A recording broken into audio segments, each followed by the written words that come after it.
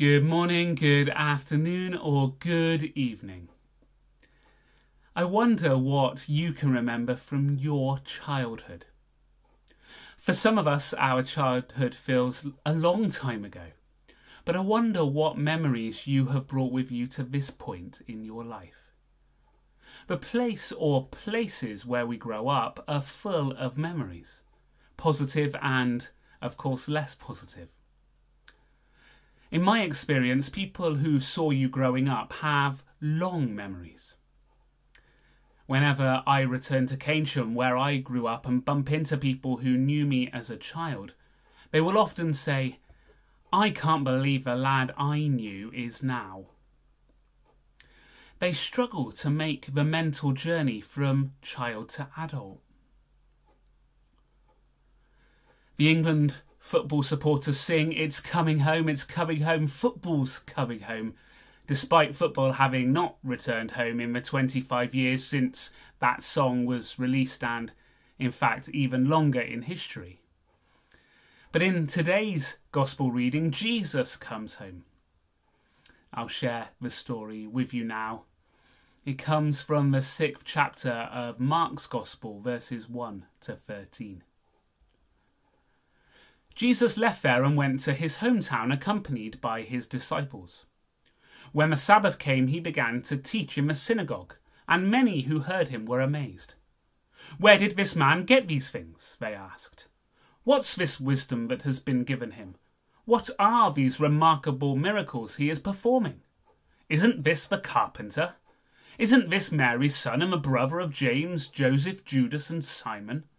Aren't his sisters here with us? And they took offence at him. Jesus said to them, A prophet is not without honour except in his own town, among his relatives, and in his own home. He could not do any miracles there except lay his hands on a few sick people and heal them. He was amazed at their lack of faith. Then Jesus went around teaching from village to village. Calling the twelve to him, he began to send them out two by two and gave them authority over impure spirits.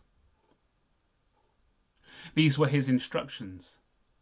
Take nothing for the journey except a staff, no bread, no bag, no money in your belts. Wear sandals, but not an extra shirt. Whenever you enter a house, stay there until you leave that town.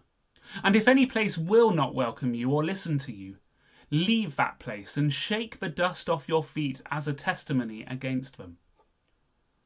They went out and preached that people should repent. They drove out many demons and anointed many sick people with oil and healed them. When it comes to sport, the home team is usually recognised to have the upper hand in a match. Take the European Championships in football happening at the moment. At the time of recording this message, England have played four games, all at Wembley, and they've conceded no goals, winning three and drawing one. Their next match is in Rome, and by the time you're viewing this, we will know what has happened there. There's an advantage that comes from there being more locals in the crowd willing the team on, cheering their attacks, encouraging their defence, and celebrating. But it is different when we have a particular message to impart. Then, instead of cheering on one of their own, the crowd may turn on them. This is what happened to Jesus. Jesus is someone they know. They've shared meals together, played and learned together, and grown up together. Now, fairly suddenly it seems, he is different. Now, Jesus is preaching, healing, crowds are gathering around him, and everyone is interested in him.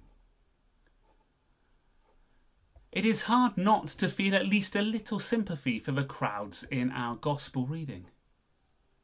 Jesus' friends and family are a little irritated and even resentful. And this response leads Jesus to increase the assertiveness with which he is proclaiming the kingdom of God. The locals simply can't move beyond their memories of Jesus as a precocious child or teenager learning the craft of carpentry.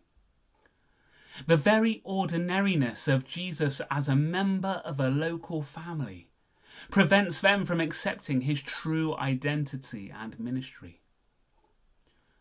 But these very ordinary years that Jesus spent growing up in Nazareth are important. They remind us that Jesus really is God with us. In coming to earth in the form of a baby, Jesus had to grow up and learn about the world as we all do, from within a particular community. This shaped him as much as it shapes any of us. In the words that follow, Jesus commissions the disciples with his authority to take the gospel into other communities. But in doing so, he, he instructs them to travel lightly. They are not to take any bread, no bag, and no money. Instead, Jesus invites them to trust in the generosity of the people they will be serving, believing that whatever they need will be provided. I believe one of the many gifts of this passage of Scripture is the invitation to trust that all we need will be provided. And that provision will come through the people we are serving. God will provide through the people we serve. Misunderstanding can, if we allow it, shape our approach to mission and evangelism.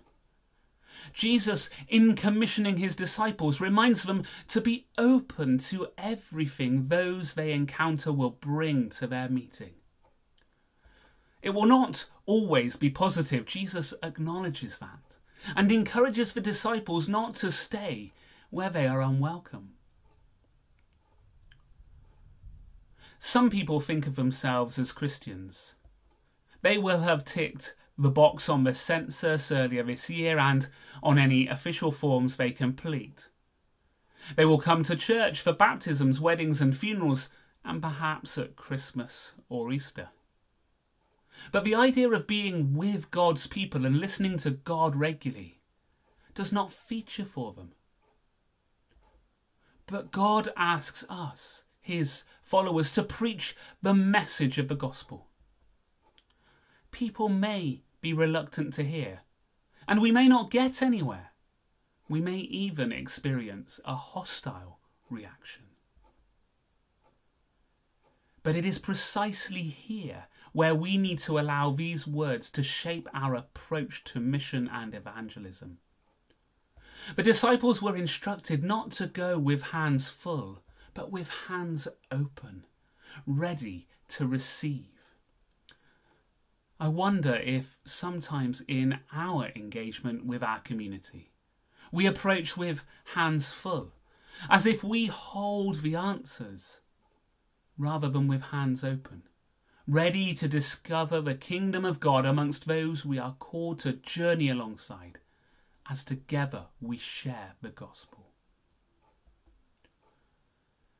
And we then need to simply leave the results to God we then need to simply leave the results to God. As we continue to consider what it means to be a people of courage, sharing God's love with our community, we would do well to remember Jesus' instructions to engage with open hands, trust in the generosity of those we are called to serve, and to leave the results to God. Amen.